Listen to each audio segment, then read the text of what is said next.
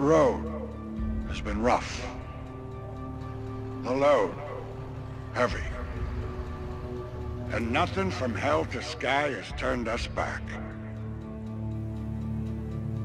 We did not get here alone. We arrived as one.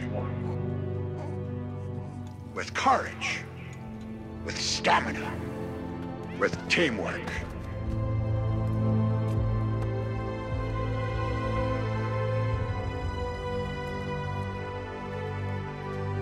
And after all the cheers have died down,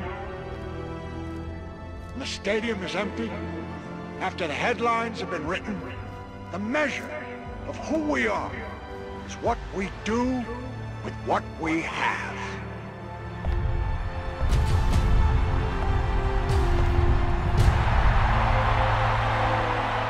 And I firmly believe in our finest hour, our greatest fulfillment to all we hold dear, is that moment when we work our hearts out in good cause and lie exhausted on the field of battle victorious. Because it's not whether we get knocked down, but whether we get back up. As one. This is the story of the 2021 Wilton Warriors. After the 2020 season was canceled due to COVID 19, the much anticipated 2021 campaign finally arrived in August. After six weeks of preparation, the Warriors were ready to do battle in what is widely regarded as the best high school football league in Connecticut, the FCIAC.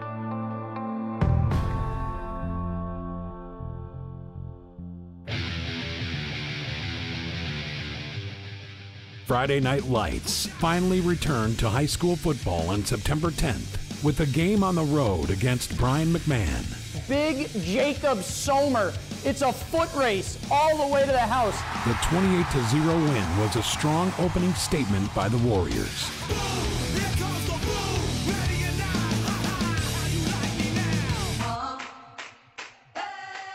Damage to Fujitani Field caused by Hurricane Ida forced Wilton to play their next two games at Weston High School.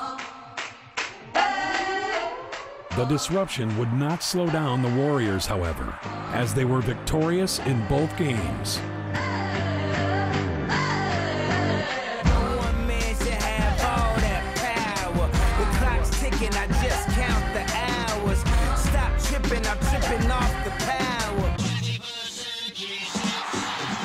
The offense, led by quarterback Grant Masterson, was firing on all cylinders. And the defense, led by seniors Kieran O'Neill, Jake Somers, Max Silva, Eddie Keller, and Parker Woodring, was rounding into one of the better squads in the FCIAC as they shut down North Haven 28 7 to up their record to 3 0.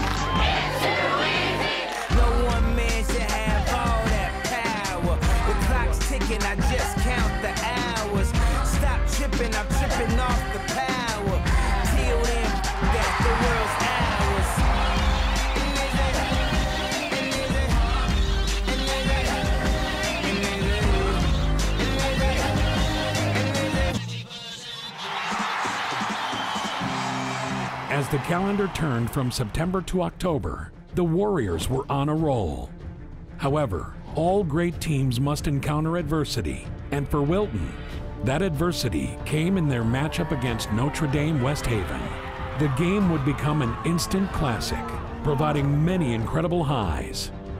Action Ashton has it. He goes touchdown, and the Warriors lead. but also an ultimate low. In the end, Wilton would suffer their first defeat of the season, a 36 35 overtime loss. Despite their strong showing against Notre Dame West Haven, the Warriors were not given much of a chance against their next opponent, the Darien Blue Wave. However, those who doubted the resurgence in Wilton would be proven wrong on this day, as the Warriors showed that they could indeed go toe to toe with the best in the state. Drake in the shotgun, ball out. It looks like a screen pass again. Wilton pounces on it. Rule on the field, they'll take over here. Masterson dropping back, pass over the middle is caught by Woodring. That will be a touchdown, Wilton, and that will give them a 13 to 7 lead. Masterson's pass over the middle is caught. That's a touchdown. Wide open, Craig Heisey. There was not a man in sight. He'll haul that in in the end zone. Masterson dropping back, looking to throw past the far side, is caught by Calabrese near the pylon. Touchdown, Wilton. The close battle wore on into the fourth quarter, and with just 10 minutes to go, the Warriors held a 36 to 35 lead. Somers going now. He's going to pick up the first down and He's gone. Somers to the 30. Somers to the 20. Somers is going to take this one to the house. And Wilton is going to tie the game 35 35.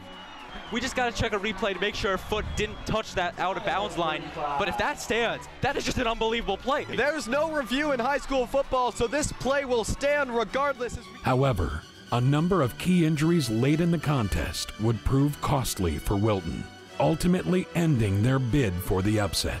Despite the back to back setbacks, the Warriors were feeling that they did indeed belong among the state's elite. A week later, they would have another chance to prove it.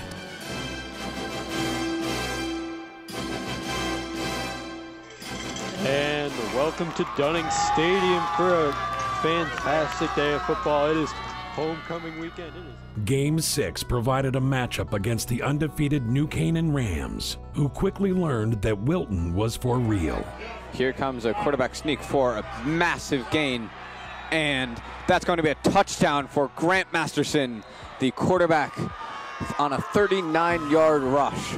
And the ball is up to Woodring, who makes the catch. And he is down. Touchdown, Parker Woodring.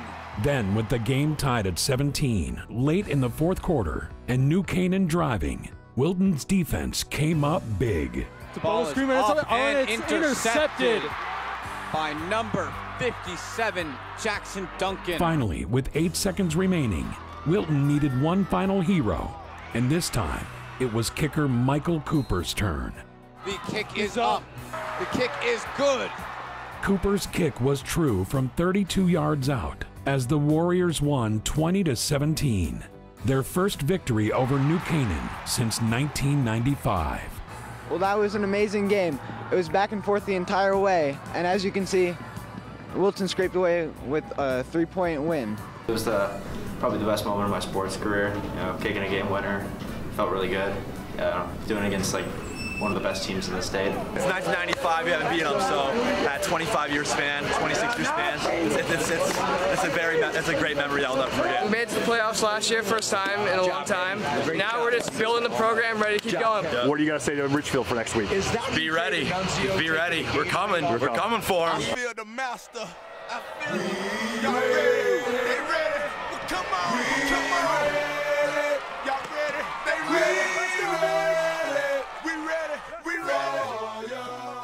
After ending one long losing streak, Wilton hoped to duplicate that feat on homecoming for a matchup against their arch rival, the Ridgefield Tigers, whom they had last beaten in 1993. Wilton's been looking to get at Ridgefield for a long time. To be honest, these teams do not like each other. For much of the game, Wilton dominated as their defense was stellar. However, entering the fourth quarter, the Warriors led only 7 to nothing. Out to Somer. He's going. He's touchdown! Warriors! The first score of the game.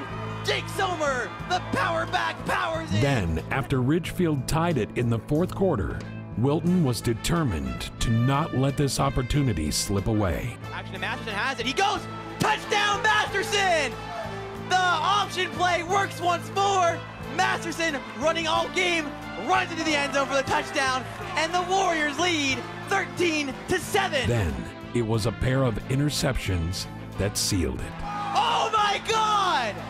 Oh my word, Parker! Is that Parker Woodring? It is.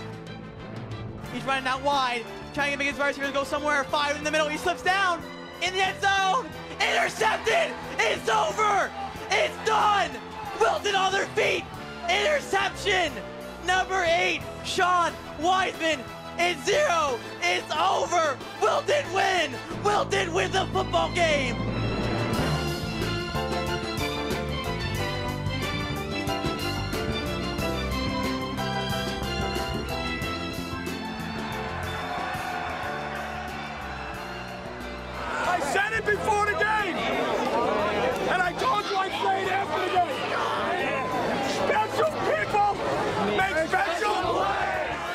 I those streaks for this program really mean a lot to all of us. Uh, we've been saying beat Ridgefield since God knows first grade. I was like on the field. I was right next to Sean, who intercepted the game-winning pass, and I kind of just like saw it happen. I sat, literally sat down on the field and just took everything in. It was something I'll never forget. I see Kevin on the floor. He was sitting in the end zone with his hands like on his head in disbelief as well. I see everyone, I see all this, the tribe storming the field. I was like, wow, we finally did it.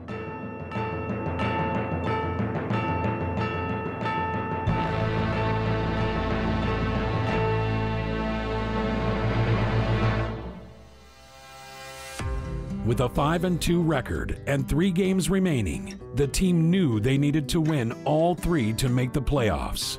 Unfortunately, they only won 2 and came up 1 win short, finishing 7 and 3. But despite not qualifying for the postseason, the Wilton Warriors had established themselves as one of the toughest teams in the state.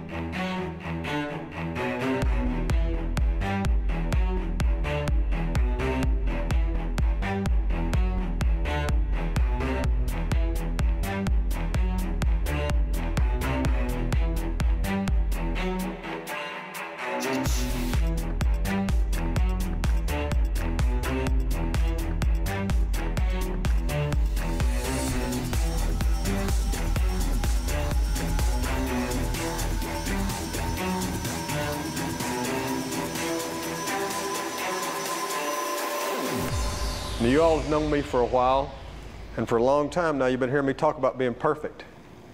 Well, I want you to understand something. To me, being perfect is not about that scoreboard out there. It's not about winning. Being perfect is about being able to look your friends in the eye and know that you didn't let them down because you told them the truth. And that truth is, is that you did everything that you could. There wasn't one more thing that you could have done. Can you live in that moment as best you can with clear eyes and love in your heart? If you can do that, gentlemen, then you're perfect. Was this team perfect? So this team, in my eyes, was perfect. This team did everything that I asked them to do, everything that the all the coaches asked them to do. Your season is is not always defined by your record. That was this year. It was a group of kids that, even though we were only seven and three, we knew we could have been better. We knew that we should have been in the playoffs, but it wasn't because of a lack of their effort. And that's why when I say they were perfect in my eyes, nobody's perfect. But the season that we had and, and the way we finished it, that was as close as a perfect season as I can think of. So it was, it was a great ride. It ended too soon. But I love those kids. I love what they did, and um, they'll never be forgotten here at Wilton. Wilton football to me means family. Uh, I feel like we have a brotherhood like no other team. These are going to be my friends for life, even past football when I'm 30, 40, 50 years old. It's hard to let go because I'm a senior now, but uh, it's like shaped me into the person I am today. I've built like a ton of friendships and relationships with coaches and made my best friends through football, and I was able to kind of transfer that on the field and have fun with my best friends. I mean, it's just a brotherhood. It's a pact. Um, everybody is just so involved. Everybody who goes through the program, they absolutely love it. We were all very connected. We played as a team from the seniors to the sophomores to the juniors. We make brothers for life. My best friends in the world are on this team. It's really like the only football team I've ever known, and I feel it's you know treated me very well. I've, I have a lot of love for the program, and I'm really gonna miss it. I've made like countless relationships and memories from the sport, and Um, I'm just so glad I played. Winning football games, losing football games, it's it's it's all about the camaraderie of the team, and um, I'm I'm very happy I can do it with this group of guys, this group of seniors who've really been great to me, um, and we've been great to each other.